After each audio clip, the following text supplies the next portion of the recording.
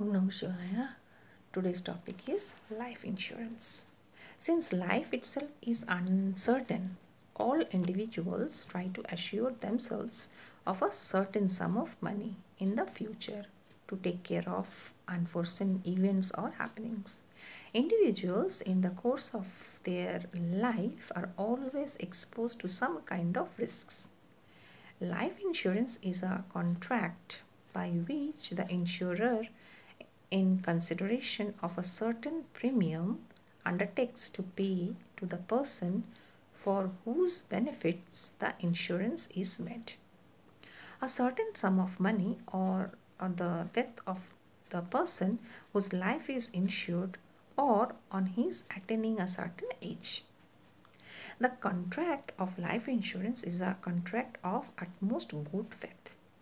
The assured should be honest and uh, material facts about his health to the insurer.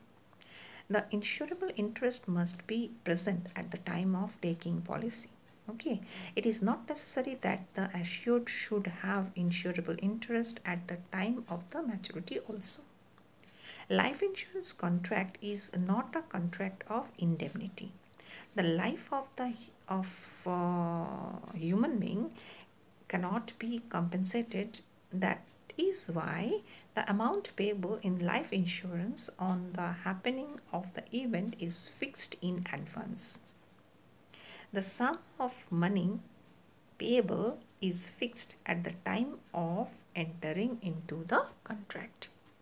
Principle of contribution and principle of subrogation are not applicable to life insurance policy. According to the different requirements of people, different life insurance policies are offered.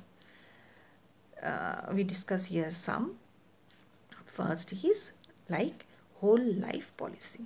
In this kind of policy, one cannot get the amount before the death of the assured. The sum then becomes payable only to the beneficiaries or heir of the deceased.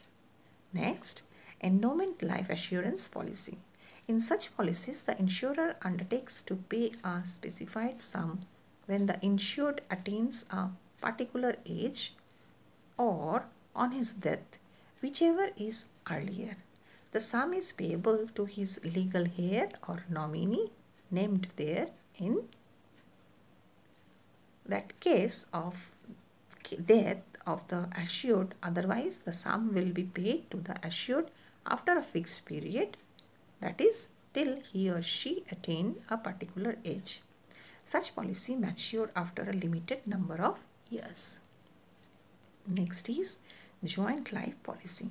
This policy is taken up by two or more persons. Usually, this policy is taken up by husband and wife jointly or by two partners in a partnership firm where the amount is payable to the survivor on the death of either of the two. Then annuity policy. Under this policy, the assured sum is payable after the assured attain a certain age. In monthly, quarterly or half yearly, maybe annual installment paid by the assured. Such uh, policy is useful to those who prefer regular income after a certain age. Next, children's endowment policy.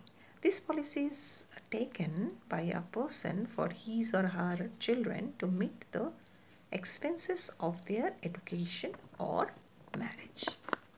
According to agreement, when the children attains a particular age, a certain sum will be paid by the insurer. The person entering into contract pays premium, but if he dies before maturity, no premium is paid.